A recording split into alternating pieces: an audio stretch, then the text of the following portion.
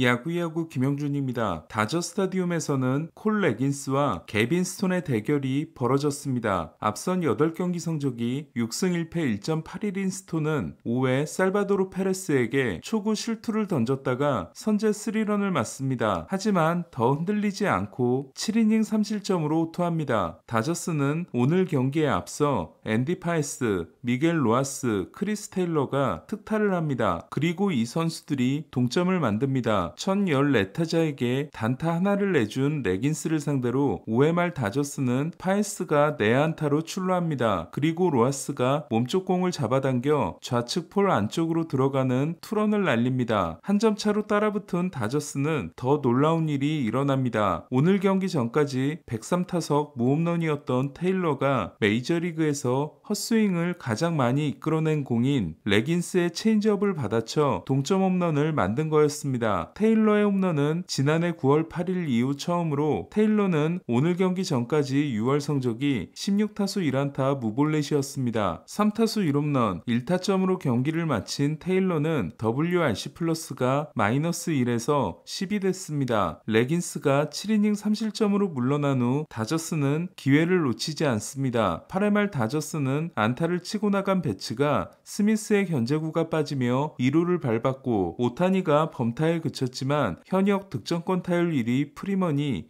적시타를 날려 4대3 역전에 성공합니다. 오타니는 4타수 2안타를 기록했고 로하스는 3타수 2안타 2타점과 안타를 삭제하는 2루 수비를 했습니다. 다저스는 로하스가 안타를 치면 19전 전승, 로하스가 득점을 하면 12전 전승, 로하스가 타점을 올리면 11전 전승입니다. 또한 우완 선발을 상대할 때 24승 21패인 반면 좌완 선발을 상대로는 19승 7패입니다. 좌완 선발 경기에는 럭스가 나오지 않습니다. 바비 주니어는 7회말을 막아준 미친 바스켓 캐치를 선보였지만 공격에서는 4타수 무안타에 그쳤습니다. 페레스는 윌 스미스의 백스윙에 왼손을 맞고 교체됐습니다. 승리는 따내지 못했지만 팀의 역전승에 디딤돌이 되어준 스톤은 최근 9경기에서 팀이 8승 1패입니다. 다저스는 내일 7일을 쉰 야마모토가 등판합니다. 바비 밀러는 다음 주 목요일 쿠어스필드 경기를 통해 통해 복귀합니다. 같은 날 커쇼도 rehab을 시작합니다. 밀러가 돌아오면 다저스는 당분간 6인 로테이션을 사용할 계획입니다. 진격의 양키스는 시즌 첫 양보전도 승리하고 50승에 선착했습니다. 작년까지 보스턴 선수였던 버두고는 선제 투런 포함 5타수 3안타 4타점에 미친 활약을 했습니다. 보스턴 팬들은 자의로 양키스에 간 게 아니지만 보스턴에 있었을 때 자기 관리에 문제가 많았던 버두고에게 야유를 보냈습니다. 루이스 힐이 볼넷 4개를 내주면서도 5이닝을 6K 1실점으로 버틴 반면 본인의 수비까지 흔들린 베요는 4.2이닝 5실점, 4자책에 그쳤습니다. 소토와 저지가 2루타와 볼넷을 하나씩 기록한 반면 데버스는 2볼넷 2삼진에 그쳤습니다. 콜은 트리플A rehab에서 79구를 던지고 4.1이닝 10K, 2피안타 무볼넷 무실점을 기록 기록했습니다. 양키스는 제이슨 도밍게스에 이어 또 한 명의 외야수 유망주가 토미존을 받았습니다. 팀 5위 유망주인 에버슨 페레이라입니다. 득점권 11타수 1안타에 그친 보스턴은 첫 번째 보양전을 패했고 셀틱스도 우승을 확정짓지 못했습니다. 샌디에고는 홈에서의 방망이가 살아나자 원정 방망이가 식었습니다. 4연승에 도전했던 샌디에고는 왈드론이 7이닝 2실점으로 역투했지만 메릴의 솔로 홈런으로 한 점에 그쳐 메츠에 1대2로 패했습니다. 수요일까지 67경기 3홈런이었던 메릴은 최근 2경기 3홈런이 됐습니다. 샌데고는 부상에서 돌아온 프로파가 4타수 2안타를 기록했지만 타티스와 마차도가 8타수 무안타 4삼진에 그쳤습니다. 김하성은 2타수 무안타 1볼넷을 기록했습니다. 어제 시즌 첫 100마일을 던졌던 디아스는 무실점으로 승리를 지켜냈습니다. 어제 터트린 역전 끝내기 투런이 통산 통산첫 끝내기 홈런이었던 JD는 결승 2타점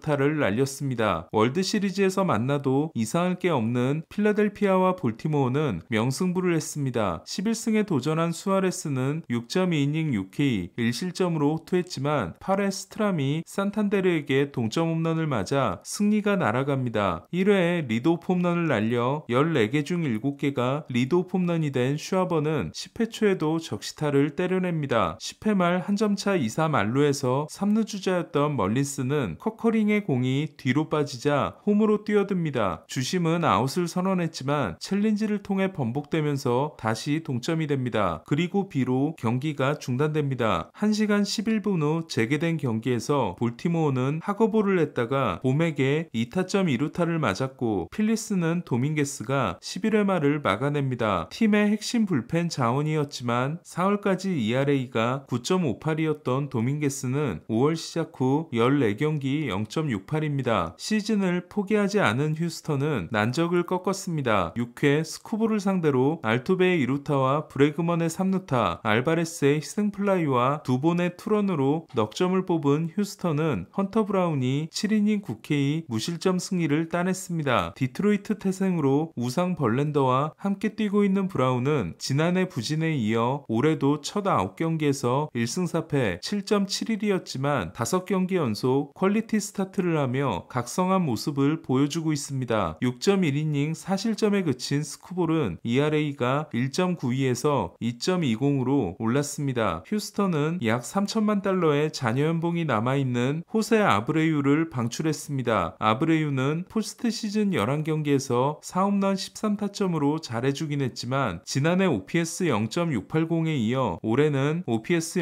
0.361에 그치는 극심한 부진이 있었습니다. 휴스턴 입단 후 1.5년 동안의 승리 기여도는 마이너스 1.6에 불과했습니다. 휴스턴 데이나 브라운 단장은 마감 시한 때 바이어가 될 것이며 선발 2명을 영입하고 싶다고 했습니다. 애틀란타는 템파베이를 7대3으로 꺾었습니다. 지난 경기에서 7이닝 10K 2실점 패전을 안았던 세일은 7이닝 7K 2실점 승리를 따내고 2점대에 다시 진입했습니다. 오수나는 19호를 때려냈고 라일리는 2루타와 홈런, 올슨은 2루타 2개를 날렸습니다. 하지만 애틀란타는 1번 타자 해리스가 햄스트링 부상을 입고 교체됐습니다. 해리스는 IL에 오를 전망입니다. 카디널스는 컵스를 3대 0으로 꺾고 3연승에 성공했습니다. 깁슨은 7이닝 2피안타 무실점 승리를 따내고 11경기 연속 무패를 이어갔습니다. 깁슨은 첫 3경기에서 1승 2패 6.16이었지만 이후 11경기에서 4승 2.64입니다. 8회에 때려낸 홈런이 0대0 균형을 허무는 결승 홈런이 된 페드로 파헤스는 2016년 알레디미스 디아스 이후 처음으로 데뷔 첫 홈런이 8회 이후 팀의 리드를 안긴 카디널 선수가 됐습니다. 벤 브라운에 이어 조던 윅스까지 부상을 당한 컵스는 헨드릭스가 선발진에 돌아올 전망입니다. 워싱턴은 마이애미를 8대1로 꺾었습니다. 경기 도중 센젤과 더그아웃에서